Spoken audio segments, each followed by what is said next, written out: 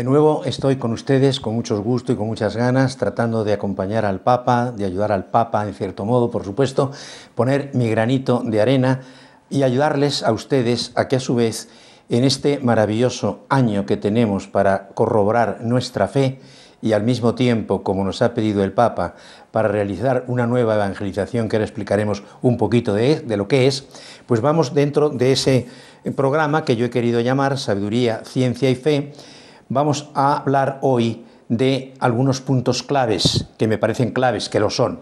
El primero de todos ellos es, vamos a hablar un poquito de la defensa de la fe. Después vamos a hablar de la fe y del compromiso que esa fe supone para todos los bautizados y en general para todos los humanos. Hablaremos también un poquito, como concluyendo lo que habíamos visto en sesiones anteriores y lo que va a ser tema de todas estas charlas, conferencias, de la fe y la ciencia, y haremos una conclusión para llegar a alguna conversión importante por parte de todos y de cada uno de nosotros.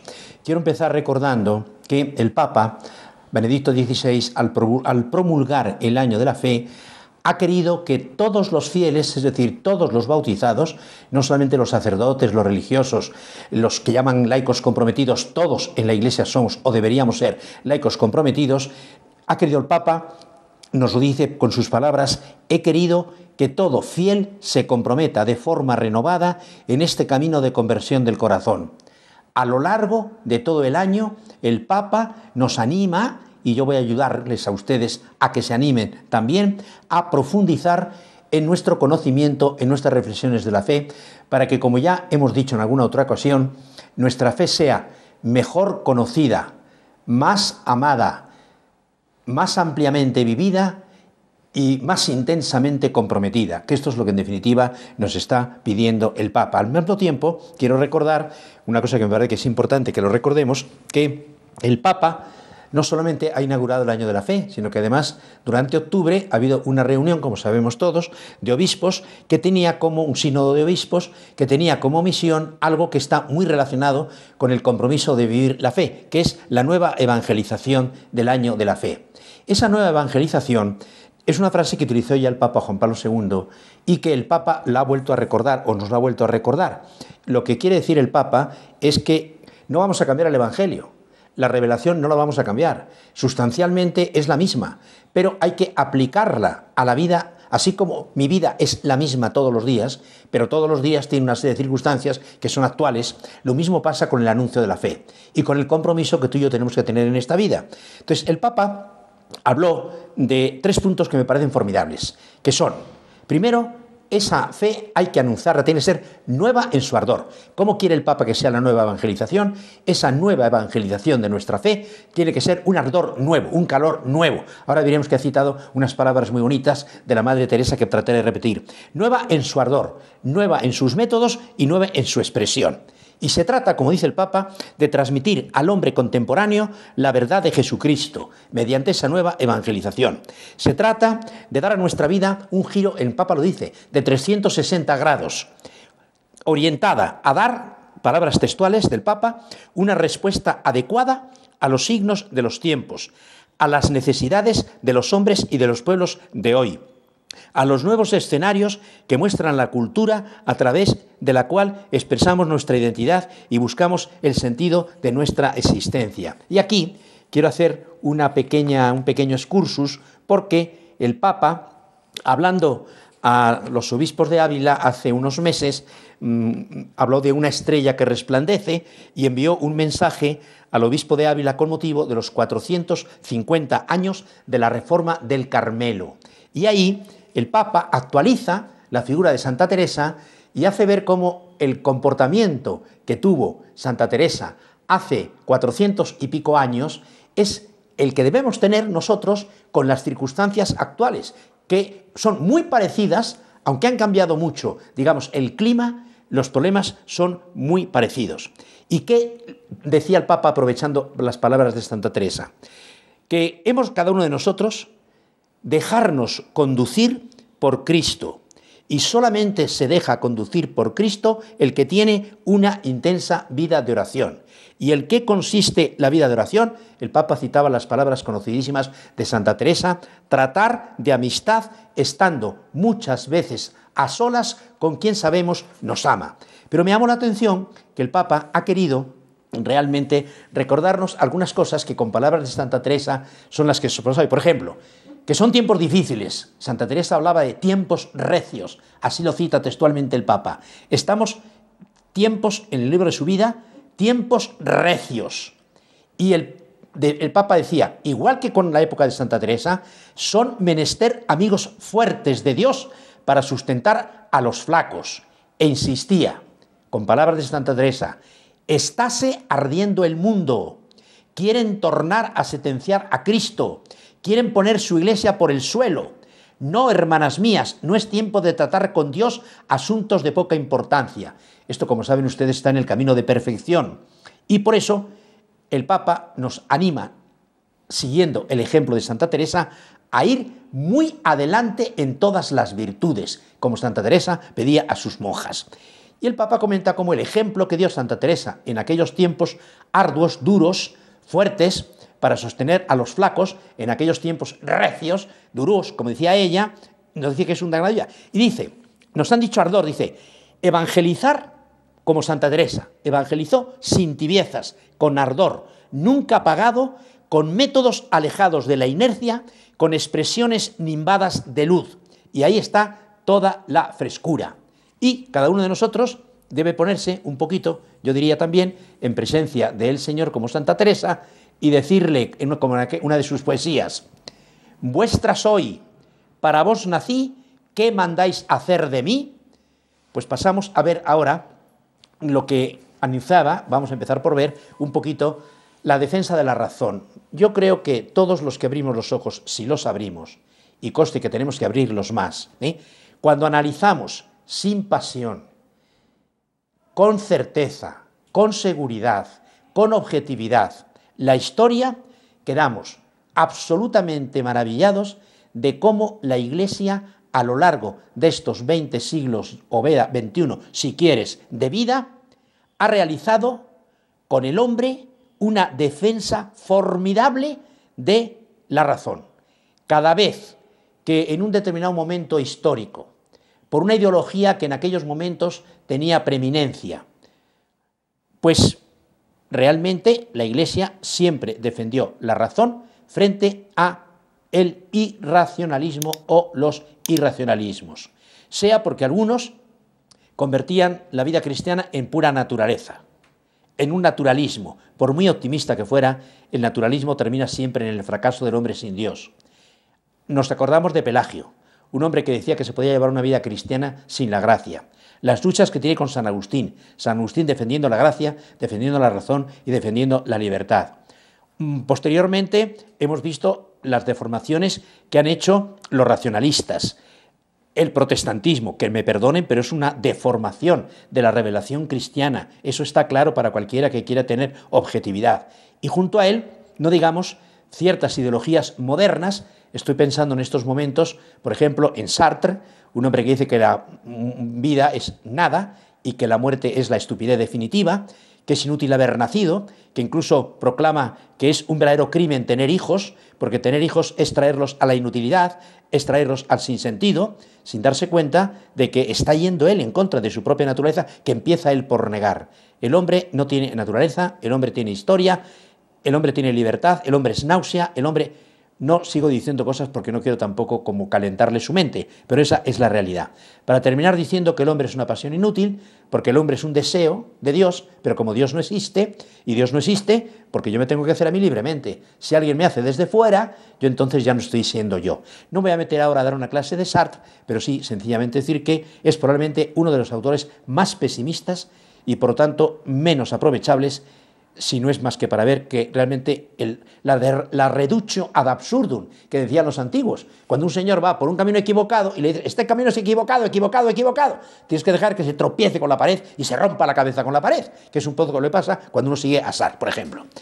Eh, me he encontrado hace unos días con una poesía de, de Heidegger, que como sabemos murió católico, gracias a Dios, aunque su filosofía es ajena su filosofía quiere estar totalmente separada, completamente ajena de toda contaminación religiosa o de fe, como dice él, me llamó mucho la atención una poesía que poca gente conoce, que dice así, Llegamos muy tarde para los dioses y muy pronto para el ser. El oscurecimiento del mundo jamás alcanzó la luz del ser. Que el hombre no es sino la inicial estrofa del poema del ser. Naturalmente no me voy a poner a interpretar a Sartre, perdón, a Heidegger, porque exactamente lo que haya querido decir lo sabe él. Pero llama la atención, llegamos muy tarde para los dioses. Ya no se trata de dioses, se trata de un dios y no llegamos tarde porque él ha llegado ya en el momento oportuno y en la plenitud de la historia para todos y para cada uno de nosotros el oscurecimiento, del mundo, probablemente jamás el mundo ha estado tan oscurecido o pocas veces tan oscurecido como en estos momentos. Y sin embargo, dice, el oscurecimiento del mundo jamás alcanzó la luz del ser. La luz del ser humano quizá no, pero la luz del ser divino sí. Está entre nosotros. En la Iglesia Católica hablamos mucho de que Cristo es la luz del mundo, que es el sol de justicia. No es por falta de luz, los que hemos opacado esa luz hemos sido realmente nosotros con nuestro mal comportamiento. Esa es la realidad y eso debe tener, muy claro. El hombre no es sino la inicial estrofa del poema del ser. Si evidentemente sabemos que el ser tiene una causa y que esa causa es el ser de los seres, entonces no habría ningún problema. ¿eh? Y estoy de acuerdo con lo que Heidegger dijo poco antes de morir, este mundo solo un Dios lo arregla se había dado cuenta de que la situación de las filosofías del siglo pasado eran tan negativas, sea idealismo, sea marxismo, sea psicologismo, sea fenomenología, todas estas cosas tienen cosas que se pueden aprovechar. Yo no digo que no, pero desde luego no dan la solución final. La solución final está, como siempre, en una razón que reconoce sus límites, se deja guiar y ayudar por la fe, una fe que reconoce sus límites, se deja ayudar y conducir por la razón, cuando fe y razón viven en unión sin confusión, distinción sin separación, concordia y colaboración, se abre la luz que Heidegger nos dice que no brilla todavía sobre el ser. Por eso, siempre la Iglesia ha salido en defensa de la razón y en defensa de la fe. Vuelvo a recordar como recientemente, en una de sus alocuciones, el Papa Benedicto XVI decía, con palabras muy, muy nuestras, muy de todos los días, la fe tiene que cuidar a la razón. ¿Por qué? Porque si no se convierte en sin razón. Y la razón tiene que cuidar a la fe, porque si no la fe se convierte en fundamentalismo, sea protestante, sean lo que sea. Entonces, hemos de darnos cuenta de esto. El Papa Pablo VI decía en una locución en 1968, la fe necesita el entendimiento. La fe da confianza a la inteligencia, la respeta, la crea exigencias, la defiende y por el mismo hecho la compromete en el estudio de las verdades divinas, la obliga a una honradez absoluta de pensamiento, a un esfuerzo que no la debilita, sino que la robustece en el orden especulativo, natural y sobrenatural. En definitiva, la fe necesita la razón, la supera, pero la necesita. La fe no es fideísmo, o sea, una creencia desprovista de bases razonables o racionales. No es solamente búsqueda crepuscular de una experiencia religiosa, es posesión de verdad, es certeza. Esa es la maravilla de lo que nos enseña la fe cuando se hace razonable y de la razón cuando conociendo sus límites se deja guiar, ayudar proteger, enriquecer precisamente por la fe. Pero tenemos que dar un paso más adelante. La fe, ya he comentado, que no es simplemente una teoría, no es simplemente especulativa, la fe no es simplemente cuestión de inteligencia, la fe es cuestión humana, los perros no tienen fe, los caballos no tienen fe, los cerdos no tienen fe, los orangutanes no tienen fe, evidentemente, las pulgas tampoco tienen fe, las moscas tampoco tienen fe. La fe la tienen los ángeles y nosotros. Los demonios también, que quede claro. Pero la fe no es viva si no se vive. Y eso es lo que precisamente hemos de procurar vivir en este año de la fe. El hombre no es un ser exclusivamente especulativo, teórico. El científico tampoco lo es. De lo contrario, sería un ser bastante extraño. No sería propiamente un hombre. El hombre, cualquiera que sea, teólogo, jurista, filósofo, psicólogo, sociólogo, ingeniero, torero, cantante de ópera, lo que tú quieras. En primer lugar, es un hombre y tendrá que cuidarse de la gripa todos los años o de la influenza como tú y yo. Eso es evidente. ¿eh? Y por lo tanto, vive en un país, en unas circunstancias concretas, y frente a esas circunstancias, él es el que tiene que resolverlas. No podemos esperar que la situación del mundo la vaya a resolver los políticos solamente. Es la sociedad, fundada por hombres y mujeres, formada por hombres y mujeres, las que tenemos que salir al quite. Ya los políticos han fracasado. Los economistas no digamos. Los filósofos más. ¿Quién queda? La palabra de Dios, razonablemente creída, razonablemente estudiada y razonablemente enseñada, vamos a decirlo así, y propagada. Eso es lo que queda. Por tanto, sabiduría, ciencia y fe, que son los nombres con que llamo a este programa, sabiduría, ciencia y fe, no son pretexto como para que evaporemos o nos evaporemos, nos diluyamos en una especie de tarea a la que el hombre no estaría llamado. Es muy importante que nos preguntemos, ¿yo para qué estoy aquí? Dios no es un imbécil. Y si te ha hecho a ti y me ha hecho a mí, es porque quiere algo de ti y algo quiere de mí. Y tú te tienes que preguntar, como yo lo pregunto yo, Señor, ¿qué quieres que haga? ¿Qué esperas de mí? Hay que ser, y eso es comprometerse. Y eso es lo que tenemos que hacer en este año de la fe. Comprometernos. No ser como yo a veces un poco se me ocurre pensar, y por aquí lo traía un poquito escrito para que se me olvidara, cuando estaba preparando esta charla, decía, no es lógico, no es lógico echarse la siesta cuando está amaneciendo, cuando acaba de salir el sol.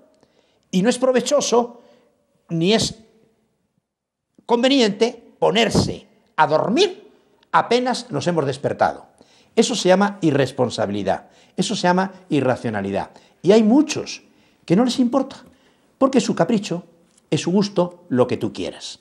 Vamos a darnos cuenta de que es muy importante el compromiso. La fe no es viva si no se vive.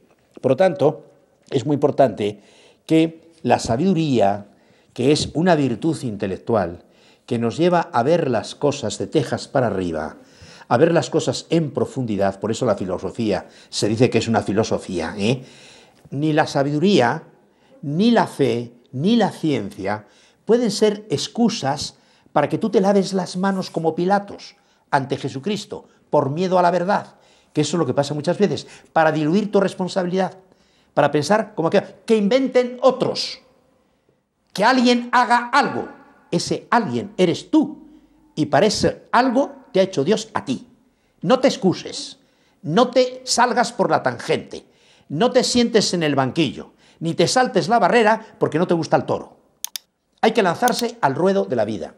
Eso es lo que Dios y el Papa están esperando y nos están pidiendo en estos momentos. La fe no es una huida, no es un refugio, no es una forma de evaporarse ante las exigencias tremendas dramáticas en ocasiones de la existencia.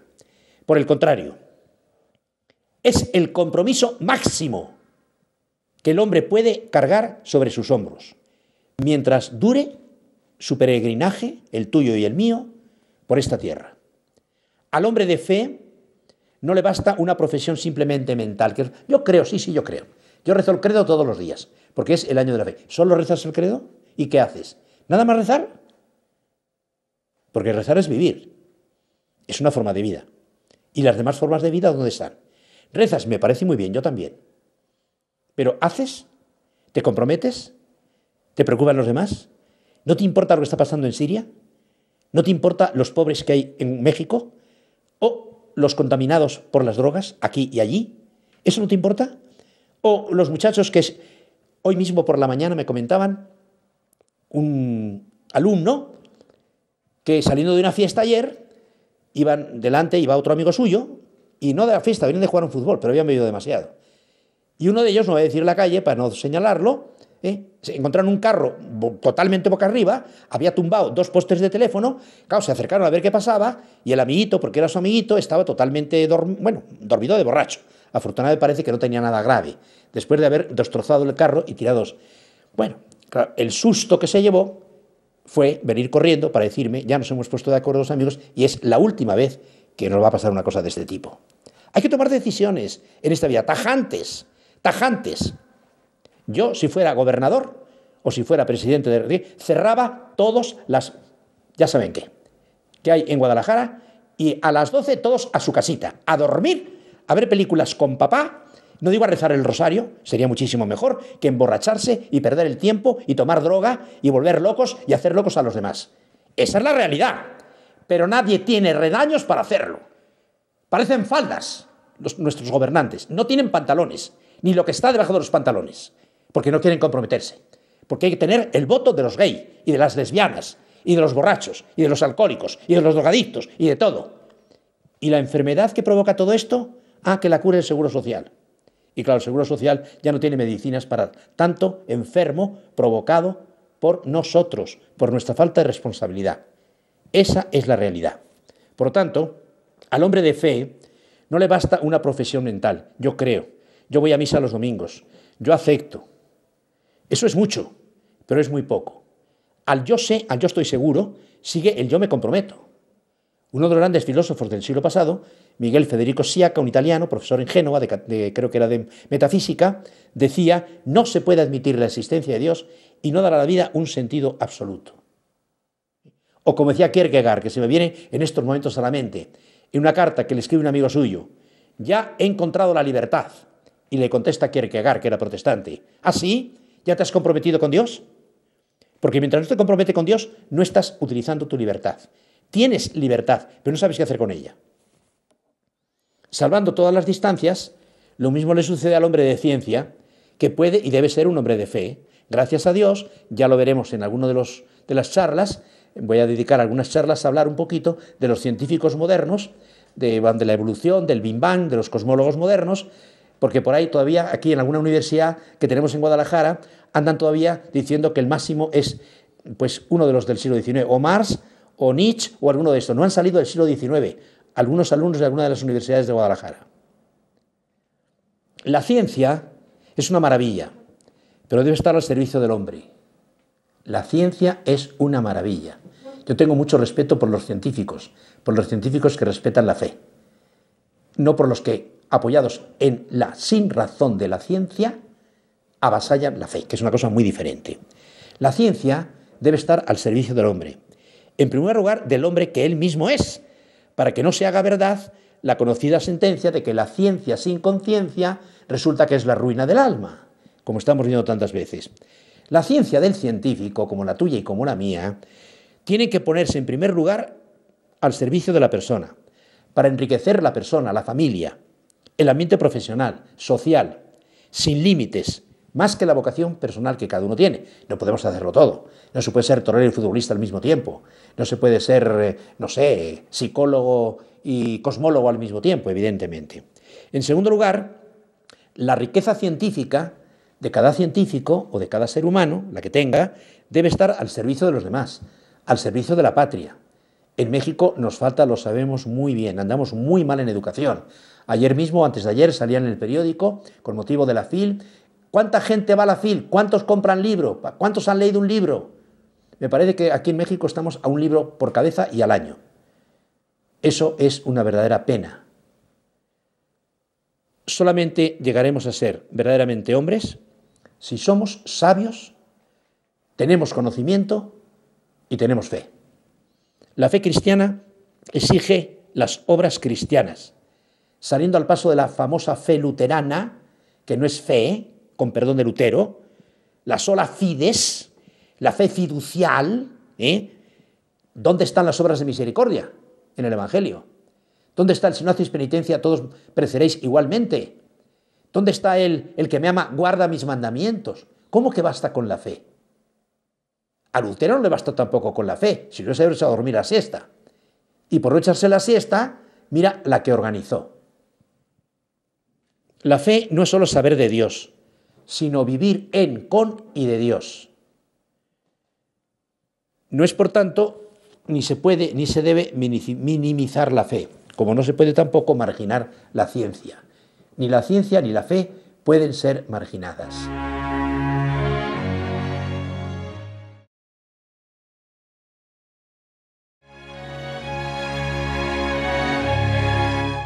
Una fe dormida y una ciencia sin Dios, o peor aún, contra Dios, serían deshumanizadoras para la persona y desintegradoras para la sociedad. De ahí la enorme responsabilidad que en este año y siempre, porque todos los años son años de fe, ¿eh? los cristianos tenemos con la sociedad, una sociedad que es no solamente no cristiana, sino muchas veces incluso contracristiana. Tenía mucha razón San José María Esquiva de Balaguer cuando decía, si los cristianos viviéramos de veras conforme a nuestra fe, se produciría la más grande revolución de todos los tiempos. Dice Surco 945, la eficacia de la corredención depende también de cada uno de nosotros. Medítalo. Esto está escrito para ti y para mí. Porque como explica en otro de sus escritos, en Conversaciones número 123, sin la falta, mejor dicho, sin la fe, falta el fundamento mismo para la santificación de la vida ordinaria. La fe, por lo tanto, no justifica la pereza mental, no alimenta el aburguesamiento espiritual, la dormidez, llámalo como quieras, de muchos cristianos. El inmovilismo no es cristiano, todo lo contrario. La fe es un verdadero motor para la vida y lo es también para la ciencia. La fe exige profesión y testimonio en todas las manifestaciones de la vida. Mira, la fe se manifiesta incluso cuando comes. Cuando comes y te controlas, estás viviendo la fe. Si mandas a volar y comes como una vaca o como un buey, y estoy insultando a la vaca y el buey, porque por instinto la vaca y el buey cuando terminan no siguen comiendo, en cambio los buretes, los bueyes humanos, cuando estamos en plan de buey, seguimos comiendo y seguimos bebiendo hasta que nos caemos, porque la inteligencia no sirve para hacer el mal también, no solamente para hacer el bien. Por eso es muy importante, la fe compromete la vida entera. Toda tu vida y toda mi vida debe estar comprometida por la fe, la ciencia y la sabiduría. Tampoco es verdad que la fe sea un freno para la acción. Hay algunos que lo piensan así. Es exactamente lo contrario. Exige acción y es un principio dinámico de moralidad, por ejemplo, para la conducta. Gran parte del malestar contemporáneo se debe a la falta de fe, a la falta de fe comprometida, vivida por una buena parte de la humanidad y por supuesto los cristianos. La fe no se reduce, como lo hemos visto, a un sentimiento religioso, místico.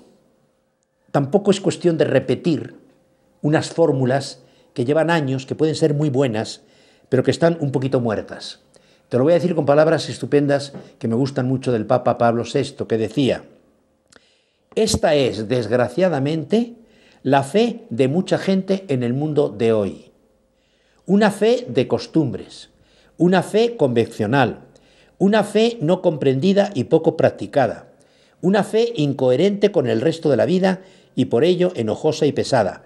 No está muerta del todo, pero no está viva para casi nada. Qué pena. Por lo tanto, recordemos, no basta conocer la palabra de Dios, es necesario asimilarla, quererla, amarla y vivirla, y comunicarla. Conocer la fe, afectarla y no aplicarla a la vida sería una grave falta de lógica, sería una seria irresponsabilidad. La fe no ha sido nunca, ni debe ser ahora, una evasión ante los compromisos apremiantes que la sociedad moderna hace a todo individuo humano, esté donde esté, frente a las urgentes necesidades y desafíos de las circunstancias actuales. Todo esto está de acuerdo con la conocida afirmación de San Pablo. El justo vive de la fe. Fíjate que dice, el justo vive de la fe. No dice simplemente de la fe o con la fe. No, el justo vive de la fe. No solamente con la fe, sino de la fe y para la fe. La fe es la razón y norma de la vida de un cristiano. Razón y norma de la vida de un cristiano. No es un simple traje, que nos ponemos para ir a misa los domingos, esos los que se visten domingueros para ir a misa los domingos. El Papa, Juan Pablo II, ha insistido también en este punto. En una locución del 79 decía, cada uno de nosotros tiene el deber de definir el sentido de la propia vida mediante la fe. ¿Ya has definido tu vida? ¿De acuerdo con la fe? ¿Ya estás viviendo lo que tú sabes que tienes que hacer porque la fe y tu razón te lo han dicho? Nos corresponde a nosotros mismos darle una forma determinada. Sigue diciéndonos el Papa, como convencimiento, como convicción del entendimiento y del corazón, no puede estancarse solo en el entendimiento como una actitud meramente teórica, es lo que hemos comentado muchas veces. No se trata de una profesión puramente especulativa. De la especulación hay que pasar a la decisión y de la decisión a la acción, y eso supone vivir el compromiso. Tampoco puede reducirse a un sentimiento vacío, como lo hemos comentado ya. Tiene que orientar desde la inteligencia y con el corazón toda la conducta humana. En definitiva, la verdadera fe debe terminar siempre en un compromiso vital, existencial, y en él se actualiza y se consuma, se realiza y se planifica la fe, la sabiduría y la ciencia. La fe no alcanza su plenitud sino en un compromiso profundo, vital, anímico, alegre, optimista, vivo, positivo, que transforma la vida porque la ilumina y dirige todas las decisiones y compromisos de la persona. Todos hemos conocido personas que están llenas de vitalidad. Están llenas de vitalidad porque efectivamente su compromiso vital se ha hecho una realidad. Aunque a veces sea, que te digo yo, el futbolista que se ha realizado como futbolista, el torero que se ha realizado como torero, a pesar de las jornadas, el cantante de ópocar que ha cantado maravillosamente, ha tenido voz, pero han vivido para un ideal, para un ideal que muchas veces es un servicio a los demás. Porque la fe no es solo una manera de pensar, es una manera y una forma para vivir. En este sentido, es la fe un verdadero principio existencial, un verdadero principio vital. La fe cristiana es una relación viva con Dios, en Cristo, medio, como dice San Juan de la Cruz, para unir el alma con Dios, medio próximo para subir a la unión con Dios, medio próximo para ir adelante. San Juan de la Cruz estaba muy claro y lo tiene muy claro. Esto lo conoció muy bien el Papa Juan Pablo II cuando estudió a San Juan de la Cruz, ¿no? Como realmente la fe. La fe no es, yo creo el credo, creo, rezo el credo, si en misa, lo rezamos el credo. Está muy bien. ¿Y en la vida qué? Las cosas hay que llevarlas a la existencia. Y, naturalmente, que para ir acabando este tema, tenemos que recordar pues, que la fe necesita la ciencia. Y la ciencia, hemos vuelto a recordar, necesita la fe. El nuevo catecismo de la Iglesia Católica nos dice en el número 159, a pesar de que la fe está por encima de la razón, jamás puede haber desacuerdo entre ellas, puesto que el mismo Dios que revela los misterios y comunica la fe ha hecho descender en el espíritu humano la luz de la razón. Dios no podría negarse a sí mismo ni lo verdadero contradecir jamás a lo verdadero. Eso está en el Concilio Vaticano I y lo repite el, el Catecismo. Por eso, dice el catecismo, la investigación metódica, recordemos que la ciencia es un conocimiento metódicamente adquirido y sistemáticamente estructurado. Es un cognicho certa per causas, de acuerdo con la famosa definición de Aristóteles, y a eso se llega por medio de un método.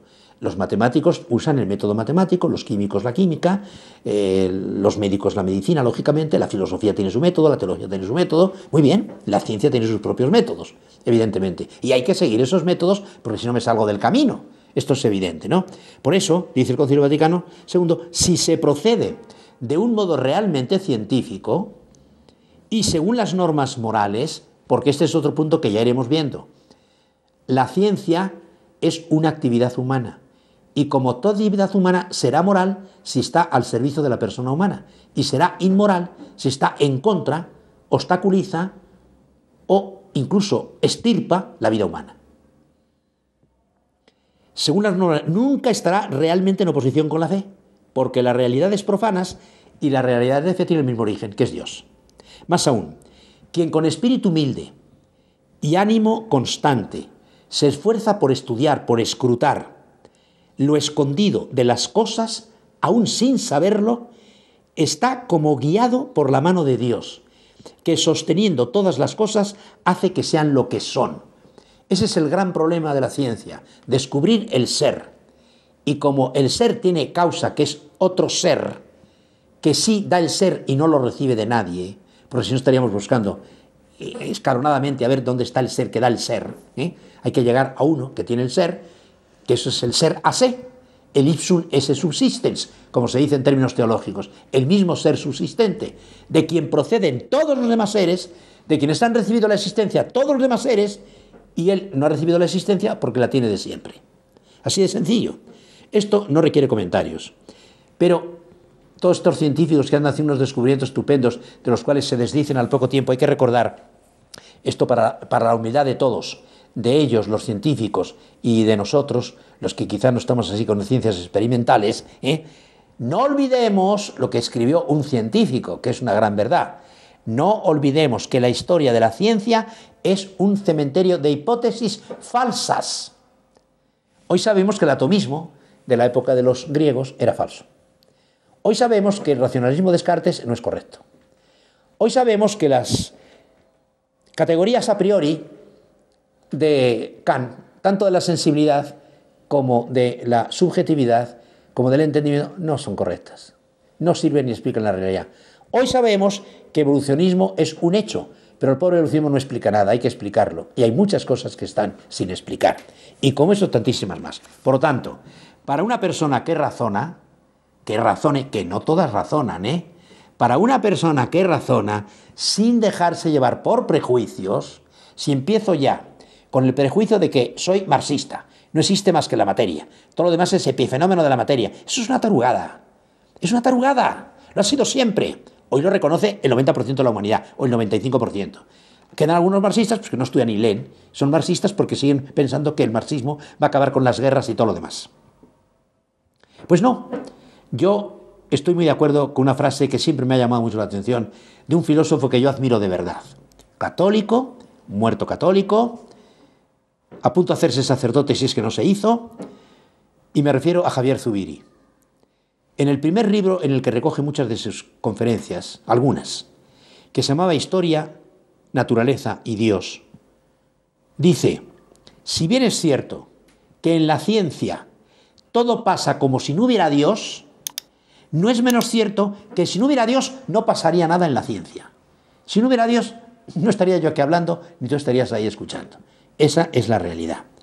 La experiencia enseña, esto lo dice Chesterton con mucha gracia, que cuando las personas dejan de creer en Dios, no es que no crean en nada, es que creen en cualquier cosa. Creen, pues en todas esas tonterías de la brujería, por ejemplo, en los brujos. Sabemos que aquí tenemos un lugar donde hay un montón de brujos provisto muy en activo y tiene hasta su concurso de brujos. ¿eh? Y tenemos las constelaciones, hay gente que cree en las constelaciones, hay gente que cree en todas estas cosas del cielo, ¿no? ¿Eh? Y, se lo creen, y se lo creen. Hay gentes que ponen tierrita a la puerta de una entrada para, para fastidiar a los demás. Bueno, hay gente que es estúpida, ¿qué le vamos a hacer? Y lo digo a ver si se les aclara un poquito el cerebro, a ver si Dios con su gracia penetra la inteligencia y les hace ver las cosas como son y no quedarse en las tonterías que no son, por más que te aguden el caprichito. A todos los que creen que van a descubrir cuál es, eh, no sé, el premio de Navidad, eh, o el premio que hay cada no sé cuántos días en casi todas partes del mundo de los mm, deportes, hombre, yo le diría que, cada, que me compren cada fin de semana o cada mes la boleta que dice cómo van a quedar los partidos del fin de semana y nos hacemos millonarios en muy poco tiempo. ¿eh? Si saben averiguar eso, ¿por qué no lo averiguan? ¿Eh? Averiguan todo, menos eso, que eso que tendrían que averiguar. Nos vendría estupendamente bien averiguar el premio de la lotería y el premio de las quinielas futbolísticas. Nos hacíamos millonarios, pero en muy poco tiempo. Y yo necesito mucho dinero. Denme el sistema, por favor. Conclusión. También la verdad verdadera es liberadora de las falsas credulidades la ciencia y la fe nos liberan de los crédulos y de las credulidades. Que quede perfectamente claro. Fidens querens intellectum. Credo ut intelligam. Esto está ya en Tertuliano, está en San Agustín, está en los padres de la Iglesia.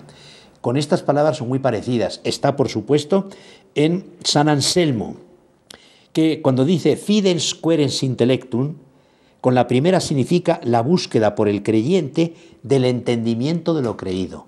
Yo creo que Dios es trino. Bueno, voy a utilizar mi inteligencia para acoger lo que la fe me dice. Dios es un ser en tres personas, un solo Dios en tres personas distintas y voy a ver cómo con mi inteligencia puedo escribir un libro como San Agustín de 500 páginas explicando, según nuestro modo de entender, cómo puede explicarse razonablemente la Trinidad y cómo no hay contradicción en la Trinidad. Y como esto, tantísimas cosas más. Con la segunda, credo ut intelligam, es lo que decía San Agustín, creo, no solo para entender, para entender cada vez más y mejor.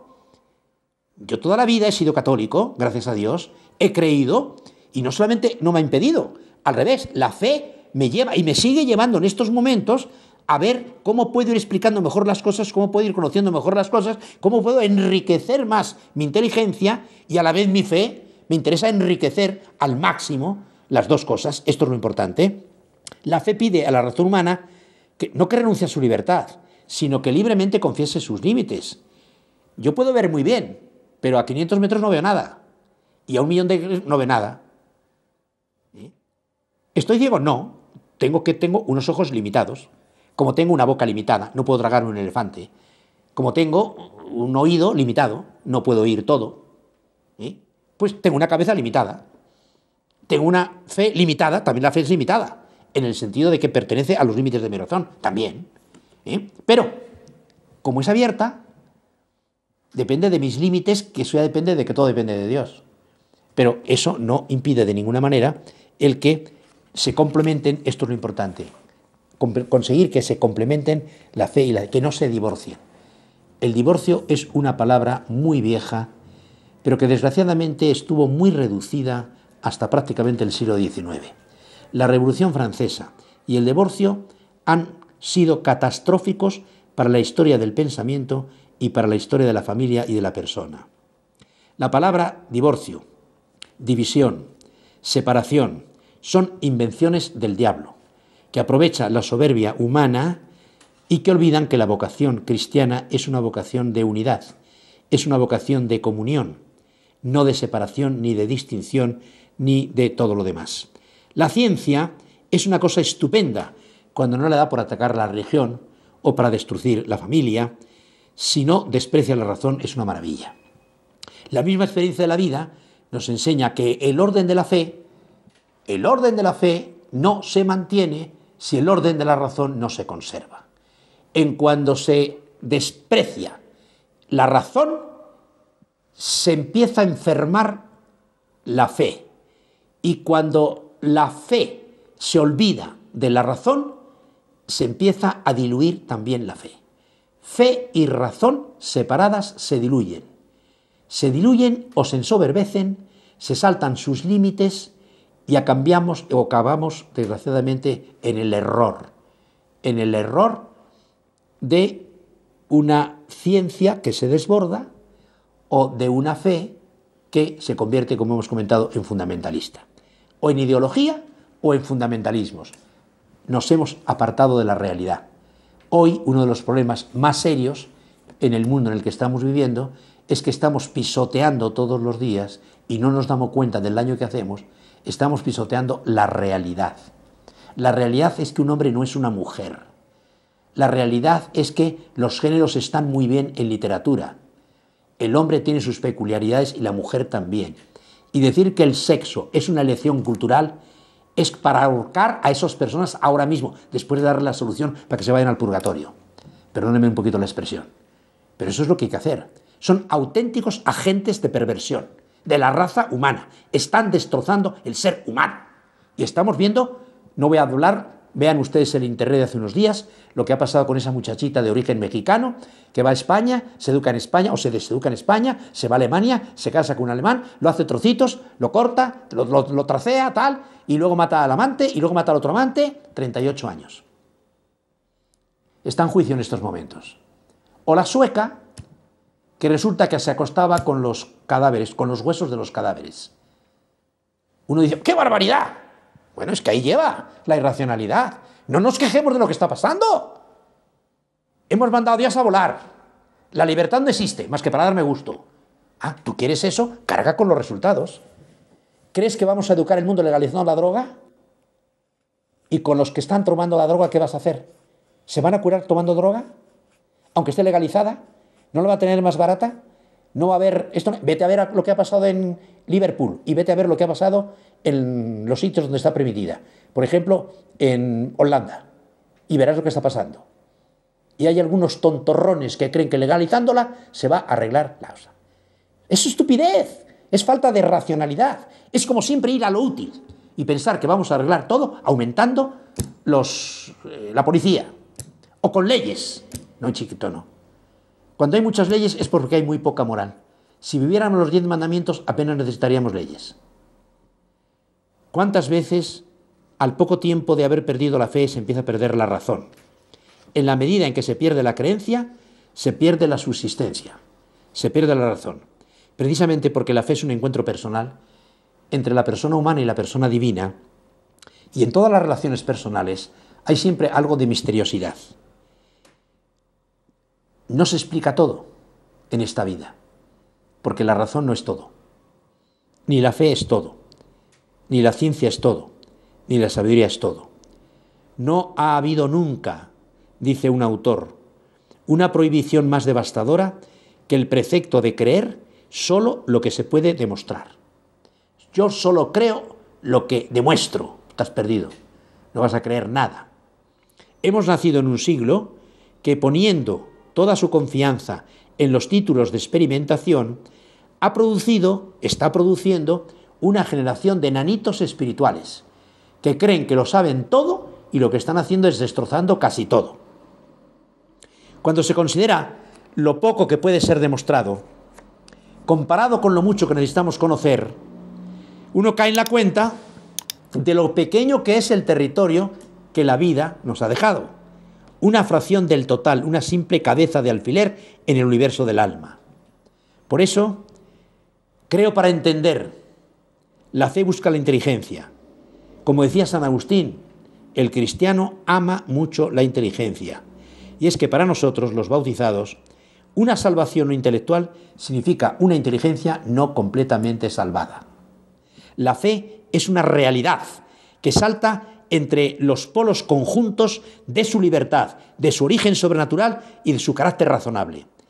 Es así certeza y penumbra, libertad e invasión amorosa, riesgo pero seguridad, salud, luz, tinieblas, inmersión amorosa en la nube luminosa.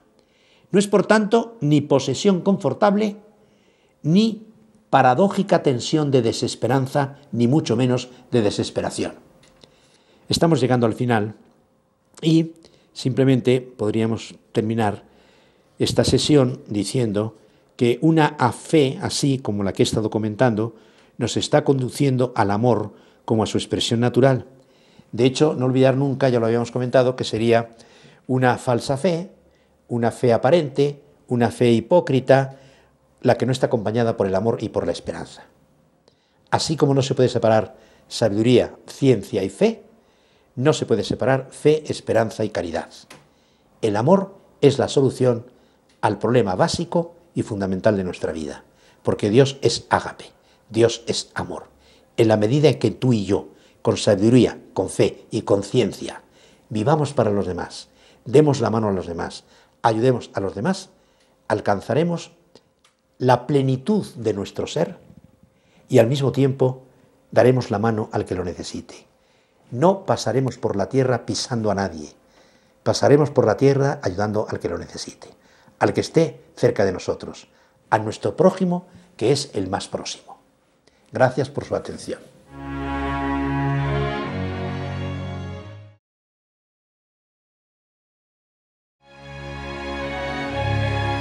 Vamos a tratar de acabar, concluyendo un poco lo que hemos venido viendo. Yo quisiera simplemente como recordar, de acuerdo con lo que hemos venido diciendo, comentando, hoy se repite por todas partes que se requiere el compromiso, compromiso, compromiso, compromiso, comprométete, comprométete, comprométete, comprométete. Esto tiene un riesgo, el riesgo de que se convierta en uno de los muchos eslogans que hemos oído a lo largo de estos últimos años. Por ejemplo, aquellas tonterías de, señora, usted decide si se embaraza. Hay otra estupidez que ahora estamos pagando. Vámonos haciendo menos, menos mensos, menos estúpidos. Hay que tener mucho cuidado con los eslogans. Los eslogans los fabrican gente a la que se paga para fregar a los demás y enriquecer a los bancos. y enriquecer a los ricos y enriquecer a, los ricos que no son ricos o que son ricos malos, como podríamos llamar. hay ricos ricos y ricos no tan ricos, vamos a llamarlo así. La fe teologal implica una toma de posición respecto a Dios y del universo en su totalidad. El mundo, los otros y yo. ¿Eh? Mientras yo no tenga una relación correcta con Dios, una relación correcta con los demás, una relación correcta con el mundo, no podré estar en posesión ni en plenitud conmigo mismo. Por eso la existencia nos pide un mirar hacia arriba para saber que dependemos de Dios. Pero es una dependencia libre, es una dependencia escogida, porque Dios nos ha escogido. A los demás, que es también una existencia escogida. Yo no he escogido a mis padres, Dios me los ha dado. Pero yo puedo escoger mis amigos y tengo que escoger la gente con la que bebo. No voy a preocuparme ahora mismo por los señores de Indonesia, los puedo encomendar. Tengo que encomendar a las personas que convive conmigo. Creer es orientar la vida hacia Dios. Toda su vida, toda la vida, en su diariedad, cotidianeidad, no solamente en la vida intelectual que podríamos llamar, en la fe se encuentra implicado radicalmente al menos un compromiso temporal, porque la fe pretende obrar sobre la organización del mundo, regular las relaciones sociales y formar las instituciones en un sentido cristiano. Por eso, el Concilio Vaticano II ha señalado como una de las más graves herejías de nuestro tiempo lo siguiente. Su fe entraña un compromiso en el espacio y en el tiempo, en el mundo y en la historia, en nombre de la verdad y la caridad. Este compromiso no es algo añadido, es una exigencia que brota de la misma esencia de la fe. Creer en Dios significa obedecer a Dios, aceptar su palabra, saber, yo me puedo fiar, yo sé de quién me he fiado, como decía San Pablo. Creer significa una decisión mía, consciente, voluntaria, libre, en la que comprometo mi vida y en la que pongo en juego mi existencia. Me juego la existencia, como el torero que se lanza al ruedo. Pone en juego su existencia, por su vida. Por eso es un drama maravilloso la corrida de toros, indiscutiblemente, porque eso no es, no es, no es andar jugando a los bolos, es andar jugando con un animal que puede matar y hacer arte con ese animal.